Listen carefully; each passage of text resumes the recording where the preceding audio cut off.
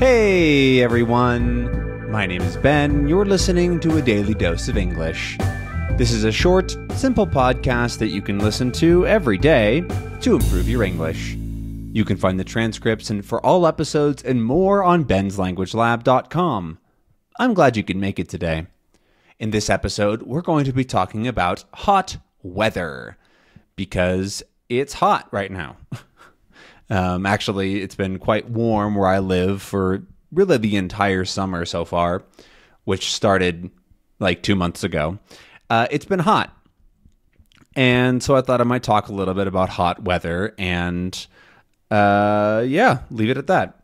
So, hot weather for me generally starts at about 25 degrees Celsius and above.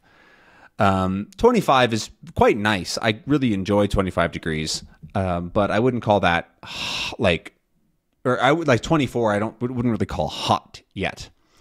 Um, I don't actually use Celsius or Fahrenheit that much anymore, even though that's what I uh, grew up with and that's what we use in the U.S.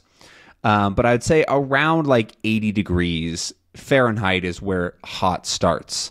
Um, I think 24 degrees is about like 79 or 78 or something like that, but I don't exactly know. Um, it could be a little bit less. Um, but uh, from like 25 degrees and on is is hot. Once you get to 30 though, that's when it's like really hot. Um, and then some people live in countries where it gets to like 35 or 40 degrees, and I don't understand that at all. That sounds very uh, miserable. That sounds terrible. It sounds so hot. Um, but during the hot weather, there's a couple things that I try to do to stay cool, and one of them is definitely ventilation. So when the weather is really hot, making sure that you're if you're inside that you have airflow moving through the the room and the and the your apartment or your house or whatever it is is very important. Um, a good tip is to find a cross breeze, and that's when you open two windows or two doors or whatever in different parts of your. I'm just going to say apartment, but this kind of can apply to anything. Um, so two windows in different parts of your apartment so that the air flows through from one place to another. That makes a cross breeze, and that really helps a lot with um, with airflow and keeping things moving and having it not be so hot inside. I had to close my window because I'm recording in, uh, this episode right now, and I like my audio to be a little bit cleaner. So I closed my window, and it's a little bit hot. It's kind of uh, hot in here. Um, I'm excited to open it back up again and move to a different part of the apartment so that I'm not really hot. Um, if you don't have a ton of windows or they're not really doing much, then other options are uh, fans are great. Having a fan just to move air around can be really nice. I during the hot season I sleep with a fan. Um, I don't actually keep it running during the day because uh, it just doesn't do that much in the rest of the apartment but it's fantastic for sleeping. Um, I actually have two fans. One of them is stronger. It's a, a, a stronger, larger fan, but it's louder. Um, and the other one is a little bit smaller, and that's what I use in like warm weather when I want some airflow. But I don't want the the, the big sort of louder fan, even though it's a better fan. Because sometimes you don't want it to be that cold in your room because you don't want to get actually cold when you're sleeping or whatever. Um, and so I like to use a fan at night to sleep. And I also get rid of my uh, comforter because on my bed, I like to have most of the year, and actually, this is what I did pretty much all year in Oregon or in colder parts of the of the world. Um, is I sleep with a sheet and then a comforter. A comforter or duvet is another word for it. Is a very thick, big blanket and I, I really pref- I like them a lot when I sleep because they're they're warm, they're cozy, which are a little bit different. Um, and if I need, I can like stick out my feet or my legs or whatever, so I don't get too hot. Um, I'm able to sleep quite well with a comforter, and I really like them. I prefer them if it's not too hot. However, in the hot weather, I you just can't. It's way too hot, right? If at night it's 27, 28 degrees, it's just not possible to sleep with a comforter on because it's too freaking hot.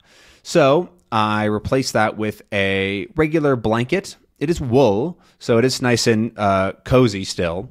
And so I have a regular sheet and then a um, a, uh, a blanket. I just forgot the word. Um, and then a blanket for the hot weather. And again, if I need, I just stick my legs out or whatever, and I can cool down that way. Um, and I find that to be the most comfortable. So a sheet uh, with a blanket on top and then a a fan is great for me for the hot weather. If it was even hotter, so like maybe 30 something degrees at night, first off, that would be too hot. I would probably suffocate. Uh, but I would probably have to downgrade to just a sheet at that point, um, and potentially a fan as well. I don't like sleeping without a sheet, and I do like to have something that's a little bit thicker because I find that I, I can really easily get cold at night. Because when you're falling asleep, uh, and this is, I'm not sure if this is true everywhere in the world that's hot, but um, at least in parts of Mexico where I've, I've been, when you're falling asleep, it's usually really hot, right? So at whatever, 10 or 11 p.m., maybe even at midnight, it's really hot. There's a lot of, it's almost, we call it muggy. Um, but then as it gets later and later in the in the night, so maybe like 2, 3, 4 a.m., it starts to get pretty cold. It gets chilly. Um, and so if you're if you don't have a, sh- a, something more than a sheet when it gets to be that cold, then you get you get cold and you wake up and you have to go find something. And I hate that. I hate w- waking up and having to go find another sheet or something like that. And so I try to have something with me already so that I can just pull it over myself or to have a fan that's like going to turn off in a little bit. That's something that can also happen. Um, or something that can happen. Something that you can do is to ha- set your fan to turn off in an hour or whatever, if, if your fan has a timer, that is. Um, and I find that to be really helpful for that sort of that sort of weather and heat. Um, going, I, I, don't know why I've been talking about the night so much, but during the hot weather, it can also be really nice to go to outside and go to parks or to other kinds of things that are outside. Uh, go swimming. There's plenty of different activities that you can do outside. Uh, growing up, I remember going definitely to the park a lot. There were a couple of local parks that had like water features, not pools necessarily, although, yes, there are uh, great pools to go to, but um, like structures that like shoot water. Uh, they're usually for kids to play in, and I really enjoyed that. Going to play in the water and then hanging out in the park or something like that. Uh, one of the parks that I used to go to growing up had um, one of those water features, a really good big like playground to play on, and then also an actual pool. Um, and that was always a really fun thing to do during the summer. I'm not a huge swimmer. I don't love to swim. I enjoy it, and I will. I, I do go into pools whenever it's available, pretty much. But I'm not like some people where you can't get them out of the pool. Um, I remember having some friends who would swim for hours and hours, and I did not want to do that. Right? I wanted to go to the pool, swim around a little bit, have fun, and then get like a slushy or something. A slushy is, um, I don't know if they're specific to the US. They're pro- probably not. They can't be.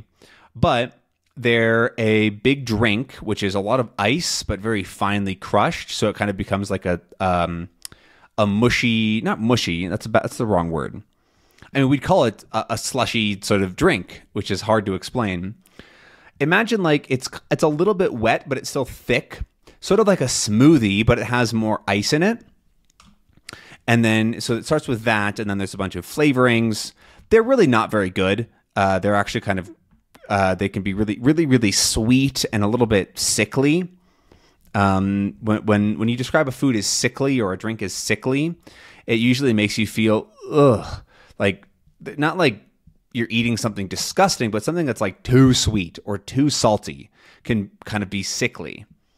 And so when I think of slushies and slurpees nowadays, that's what I think of. I think of like just really, really sweet and really, really artificial flavors. It's just like, ugh, I don't want that. I would much prefer like even ice water at this point is a better drink for um, the heat.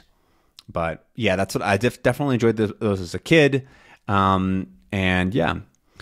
there's a lot more great stuff to do in hot weather, right? You can go on, if, if it's not too hot, I guess, you can go on a good bike ride or just go on walks, on hikes, because those can be really nice in the sun, especially if you're from somewhere that doesn't have that much sun. So, yeah.